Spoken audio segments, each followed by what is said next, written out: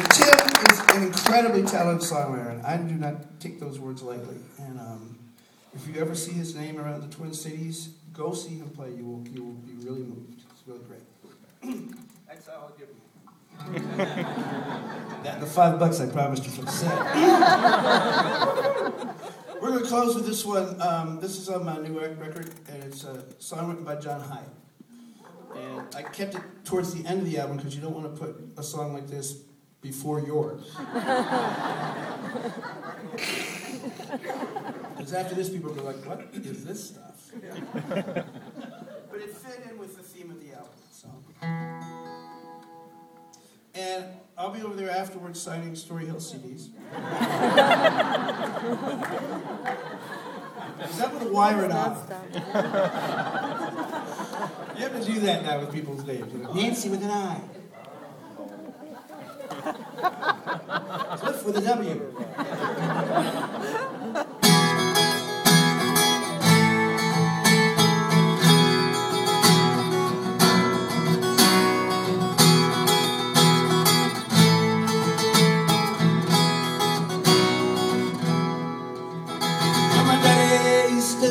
At the foot of the stairs. He was calling to me at the time.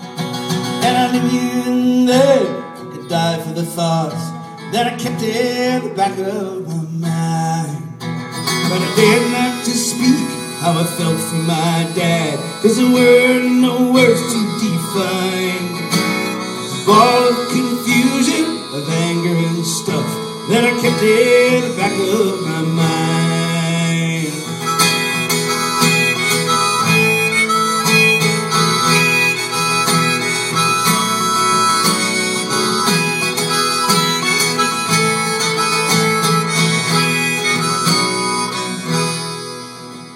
So I took to the highway, I kept to myself, just a looking and a hoping to find some solutions, some answers, some way to exist with this stuff in the back of my mind. So I took me a job, and I took me a wife, and I took to a bottle of wine. And it did not take long till all I had left was this junk in the back of my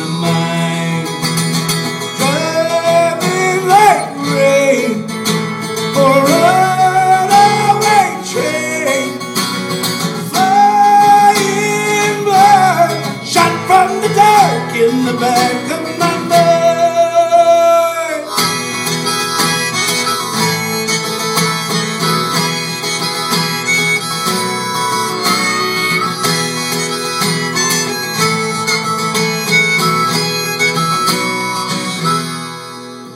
Well, the end of the tunnel just never came up till I came to the end of the line. I saw that the light I was hoping to see was just a spark in the back of my mind. And the cold wind that blew through the hole in my heart made a fire for the very first time.